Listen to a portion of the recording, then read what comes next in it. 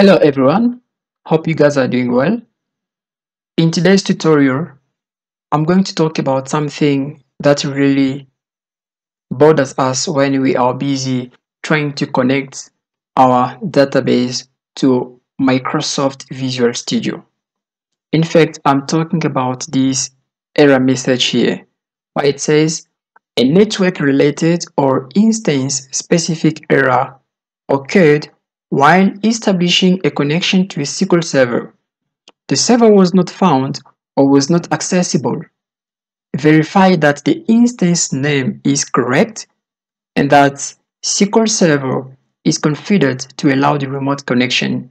Then it gives you all the error message as it works. So this is one of the common problem that we encounter when we try to connect our database into the Microsoft Visual Studio.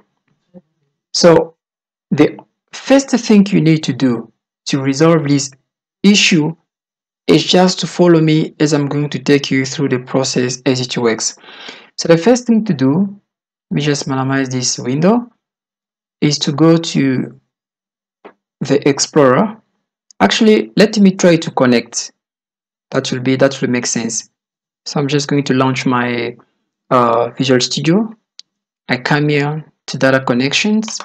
I right click, then you select add connection. And then, as you know, I can just put,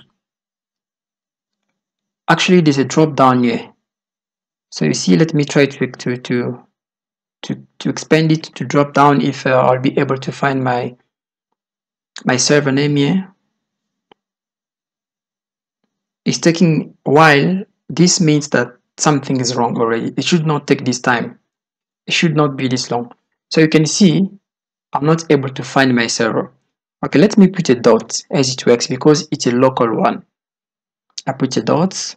I'm coming here to expand here. I mean to select or to enter database. I'm not going to enter my database name. I'm just going to select because normally it was supposed to be populated with my database name there. So I click there and then I wait for a while. Again, this is a problem already. It should not take this long, but let me at, at least wait. It's a lo loading data name. It's loading database name. It should not take this long. It was supposed to be done within few seconds, but now it's taking long. So it means that something is wrong. And there we go it throws this message saying that a network related or instance specific error occurred while establishing a connection to SQL Server. And the server, the server was not found or was not accessible. Verify that the instance name is correct and that SQL Server is configured to allow remote connections and then gives all the error message. So something is, is wrong here and then we need to get it fixed. Alright? So what you can do, you close this window over here I'm just going to reduce my uh, Microsoft Visual Studio. Then you open your Windows Explorer. You go all the way down here. You search for Microsoft Server Microsoft sorry my Microsoft SQL Server 2017 this is the version which is installed on my on my computer. Just going to expand it. And then you come here where it says SQL Server 2017 configuration management. So you click on it. If it asks you this question you just come to yes then wait a little bit. All right. So here's the problem here. Services. So it says that the services are closed. They should be running. But as you can see these guys here they are not running. Are, they stopped running. So what we can do we have to get them running. How do you go for that?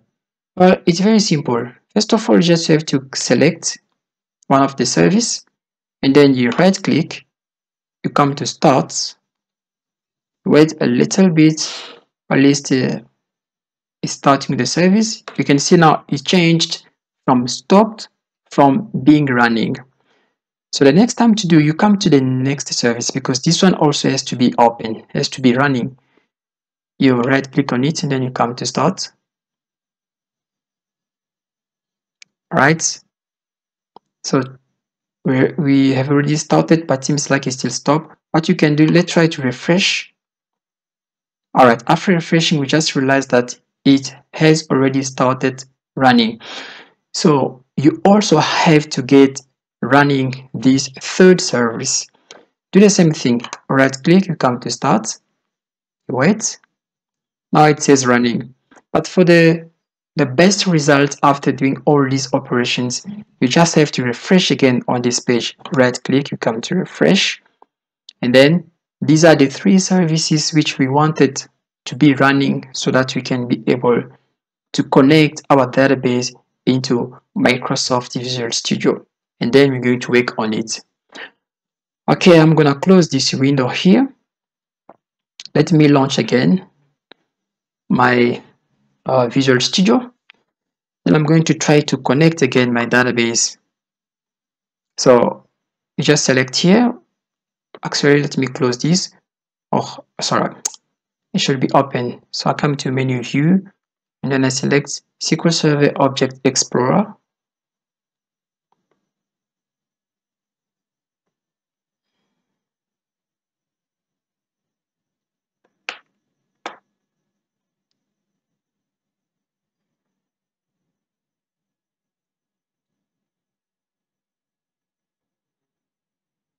alright SQL Explorer. Then you click there. You come to data connections right click add connection. And then let me try to get again if I'll be able to connect it. So I try to drop down this list. Yeah, it seems like it's still taking long. It should not take this long to populate uh, with my server name but anyway, let's just wait.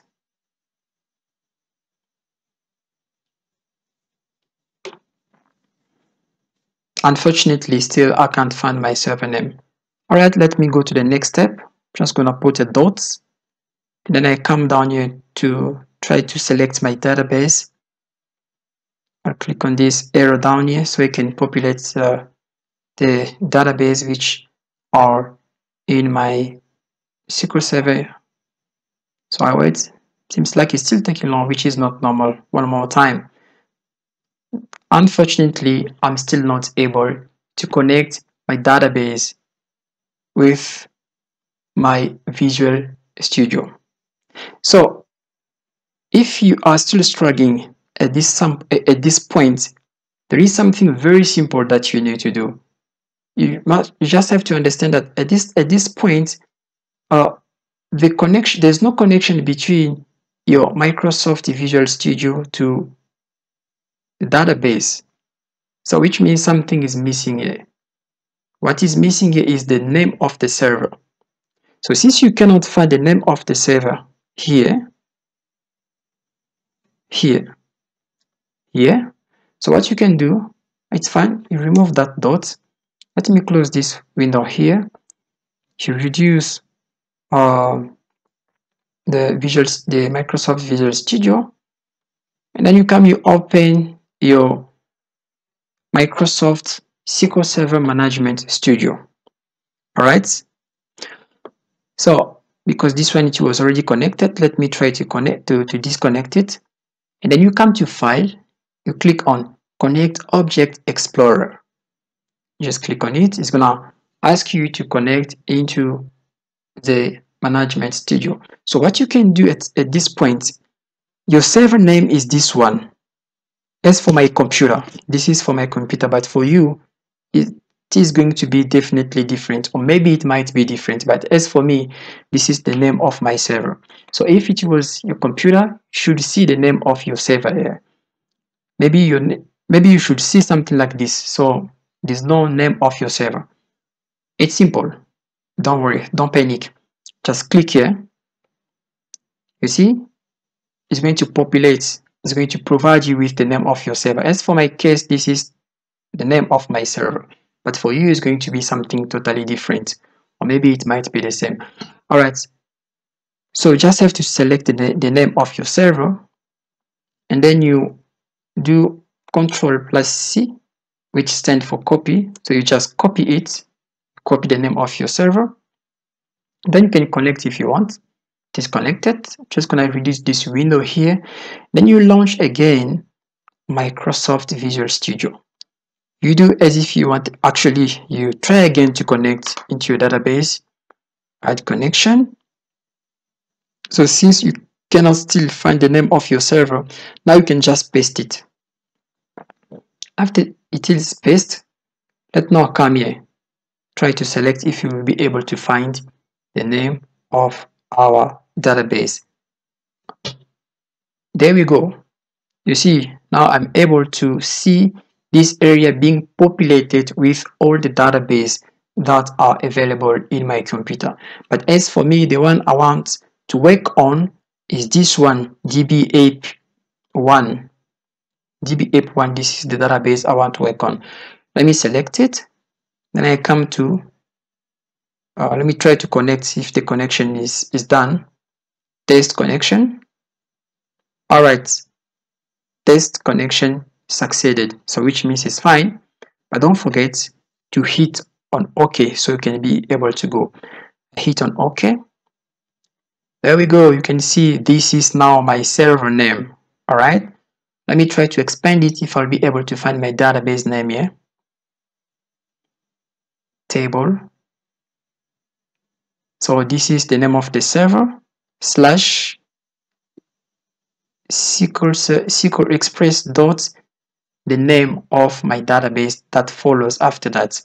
And all these tables here are the one that are inside my database.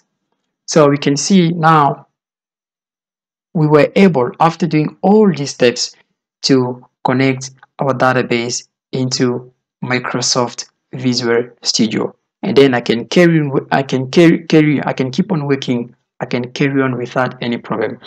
So this is what I found interesting to share with you guys today.